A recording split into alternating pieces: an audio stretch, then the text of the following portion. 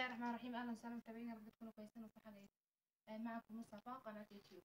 آه، النهاردة على حرف جديد حرف ال- الشين. آه، هنجيب الطفل كده ونقول له هناخد حرف جديد هو حرف الشين. إحنا خدنا قبل كده حرف السين. آه، هنقول له الشين أخو السين. بس يختلف إن السين مفيهوش نقط وال- والشين فيه ثلاث ثلاث نقط يعني. نجيب نقول للطفل ان الشين ليه أغنية بنقول عليها. شين شجرة في الصحراء تشكو عطشا نازل الماء تشكو ربا كل مساء. آه، أغنية بسيطة لتسهيل الحفظ. كمان هنقول للطفل إن الشين هنجيب عليه كلمات برضو آه، زي شين آه، شين شمس شين خشب شين شجرة شين شبكة وهكذا. عندنا برضو وسيلة برضو زي كده. ممكن أي وسيلة تانية من أو لو مش لو ما عندكيش وسائل برضو ممكن ترسميها في كراسة. وتكتبيها كده وتخلي الطفل يلونها ونكرر الاسم ونقول له ده حرف الشين حرف الشين زي ما كل حاجة ليها اسم الحروف برضو ليها اسم ده حرف الشين ده حرف الشين لحد ما يعرف حرف الشين. كمان هنقول آه، نكتبه إزاي؟ هن- هنقول للطفل ان الإنسان بيقعد على الأرض ويمشي على الأرض الحرف برضو بيقعد على الأرض والارض تحته هي السطر آه، شكله إزاي؟ آه، طبق صغير على السطر وطبق صغير على السطر وطبق كبير تحت السطر وفوقيه ثلاث نقط. الشكل ده طبق صغير وطبق صغير وايه فارد دراعه أو جناحه وفوقيه ثلاث نقط. تمام؟ الأخطاء اللي بيقع فيها الطفل إن هو يعمله لك يعمل لك الشين يعمل لك ثلاث سنان وبدل ما يجي يجيب الجناح أو الدراع من الآخر لا بيجيبها من الأول يعملها كده. ويعمل نقط الطريقة دي غلط. لازم الجناح من آخر ما إيه من آخر حاجة من آخر السنة آه برضو ممكن يعمله لك إزاي؟ إن هو يعمل الجناح ويعمل الثلاث سنان والنقاط الغلط. برضو ممكن آه يكتبوا الشين آه الشين دي يعملها لك السنان بتاعتها واحدة طويلة واحدة قصيرة واحدة طويلة غلط. النقط ممكن يعمل لك النقط يختلف النقط. يعني ممكن يعمل لك واحدة يمين واحدة شمال واحدة فوق واحدة تحت. يعني لازم النقط تكون فوق بعض تمام؟ دي غلط. آه تمام كده. ونقول الشين ان زي ما قلنا الشين أخو السين. دي حروف متشابهة في الكتابة. آه، دي الحروف المتشابهة في الكتابة السين آه، والشين. أشكال الحرف آه، أسرة الحرف. الشين في أول الكلمة. س- طبق صغير وطبق صغير وفارد دراع أو جناحه وفوقيه ثلاث نقط. ولازم نعمل إيه؟ السطر زي ما قلنا. وإنه نعمل نوضح الدراع أو الجناح بإيديكي كده بيقولوا ده دراع آه، وفوقيه ثلاث نقط. عشان في أول الكلمة والحروف بتشبك وراه في نص الكلمة أو وسط الكلمة آه، دراع دراع. وبعدين ثلاث سنان آه، وعليه ثلاث ثلاث نقط ودراع تاني في نص الكلمة. ودي شكل تاني برضو اللي بيكون من قبل حروف ش... آه، حروف رفاصة أو مرفوضة أو شقية آه، الشكل ده. والشكل الثالث اللي هو في آخر الكلمة اللي هو بيكون قاعد في الآخر نعمل الدراع أو الجناح وآخر الشين في الآخر وليه شكل تاني الشكل ده اللي هو ال- اللي بيكون قبله حروف رفاصة. وجبنا عليه كلمات الشين في أول الكلمة شين في أول الكلمة وشين في نص الكلمة أهو شكلين الشكل ده والشكل ده أهو الألف تبع الحروف الرفاصة دراعها مكسور مش بتقدر تمسك في الحروف اللي بعديها. والشكل الثالث أهو ده المنفصل وده المتصل. يعني في عندنا شكلين لحرف الشين ده المتصل ده المنفصل وده المتصل ده اللي بي... ده اللي بيشبك في الحروف ده اللي بيشبك في الحروف. ده الكامل ده الناقص تمام؟ آه وعندنا الحركات. فتحة ضمة كسرة سكون. آه الحركات طبعا الحركات القصيرة إحنا في حرف الشين إحنا قبل كده يعني هو عارف الحركات إن في حركات أربع حركات. آه الفتحة الفتحة شرطة الفتحة شرطة فوق الحرف. الكسرة شرطة تحت الحرف. الضمة واو صغيرة على الحرف أو ضمة ضمة فوق الحرف. والسكون ده ما بيجيش لوحده لازم يجيب أي حرف معاه بأي حركة عشان يقعد معاه في البيت أو بي- ويتنطق معاه. بيبقى. ضعيف وخائف ما بيطلقش لوحده أو ما بيكتبش لوحده. جبنا حرف النون آه وعليه أي حركة حركة مثلا الفتح دي شا شا حركة لفوق شا شو شو دي شي شي.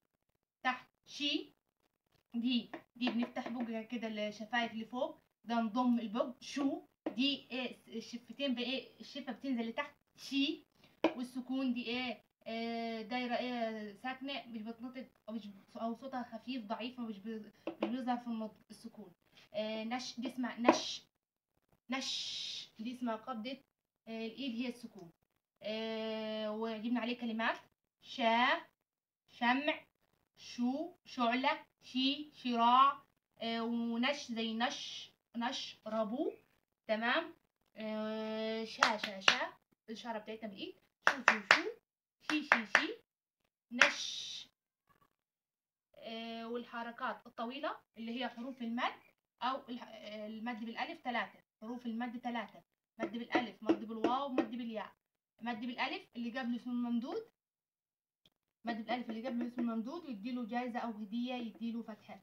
مد بالواو اللي قبله اسم الممدود ويديله جايزة أو هدية يحبه يعني صديقه يديله ضمة. مد بالياء ليه شكلين برضو يديله اللي اللي قبله اسم الممدود ويدي اللي قبله زي الشين يعني يدي الياء يدي للشين آه، كسرة انه مد بالياء آه، صديقه يديله كسرة ما بيسيبوش خالص. يعني المد مع الممدود قاعدين مع بعض لازقين في بعض حتى في التقطيع بيقعدوا مع بعض في نفس البيت.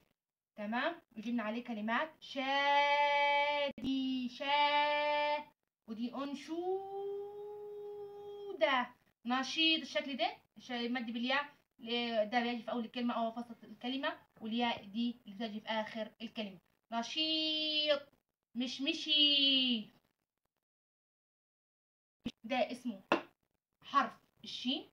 ده اسمه ما اسموش حرف الشين ده اسمه الشين أو شا شا ده ما اسمهوش شا لا ده اسمه شا دراعك لفوق. شا دي اسمها حركة قصيرة. دي اسمها حركة طويلة. وحروف المد مش بنحط عليها حركات. يعني بتقعد فاضية من غير حركة. يعني المد الحركات الطويلة الفتح ال- الألف والواو والياء مش بيكون عليها حركة. الحركات القصيرة هي اللي بيكون عليها آه، حركة.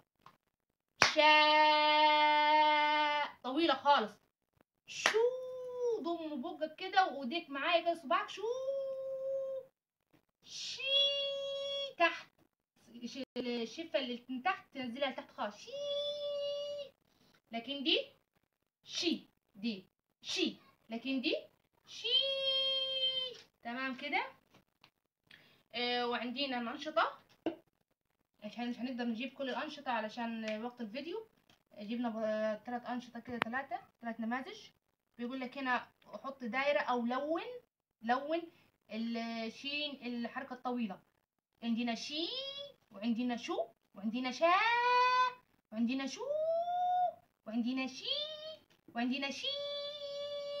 يعني الطفل هنا كده انت هينطق بعد ما يتأكد إن هو عرف الشين بالحركات بتاعته القصيرة والطويلة ينطق كده ويلون الصوت الطويل.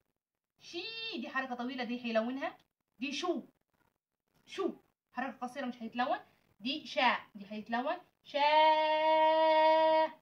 دي شو دي تتلون عشان حركة طويلة دي شي. ما يتلونش لكن دي شي.